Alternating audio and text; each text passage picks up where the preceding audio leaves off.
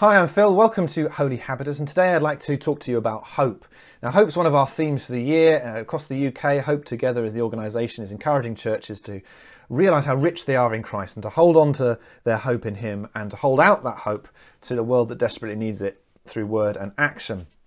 And so hope is a precious resource. We're so hope poor in our climate at the moment. Our culture, which was once sort of funded by this endless optimism about the future, is now beginning to get cynical about what uh, it was sold in terms of the narrative of progress and is now quite worried about the future. And there's a whole litany of woes if you scroll through your newsfeed or, or flick through your newspapers. Things like climate change and acidity of uh, the oceans, plastic, mass extinction of species.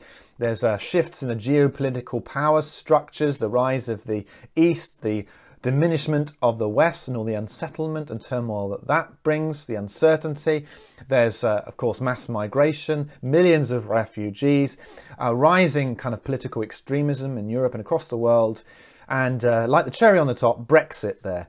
And so there's all sorts of things that we're worried about. And even those things we put our hope in as a culture before, like technology, oh, that will solve these problems or many of these problems, now that's beginning to turn on us. And there's this whole threat of uh, artificial intelligence, and what will that mean if that comes into being? Uh, and it seems unstoppable. And, and, are we going to be prepared for some of these changes? And so there's this kind of anxiety about the future, a despairing uh, about uh, what might come and what world our children might uh, inherit.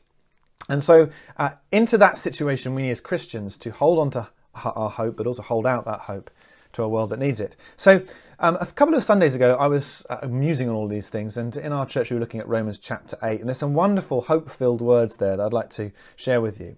It says this Who shall separate us from the love of Christ? Shall trouble or hardship or persecution or famine or nakedness or danger or sword?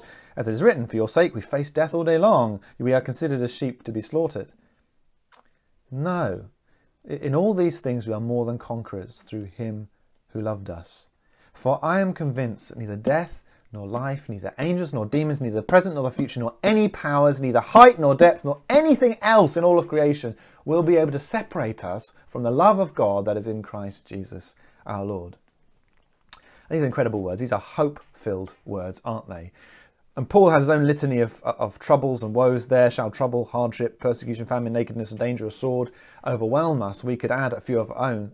Um, but into that, Paul says, no, we are more than conquerors. Why? Because someone loved us, and that, the person who loved us is God Himself. And nothing can separate us from that love as expressed through Christ. Nothing at all.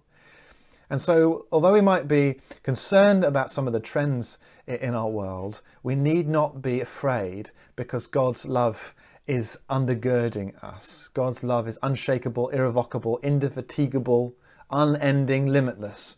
And this love is our foundation. Uh, it's our rock. It's our anchor in the storms. And although the clouds might be lumping black on the horizon, yet we have hope because we are loved. And that's a hope we need to hold on to this week. It's a hope we need to hold out to those around us.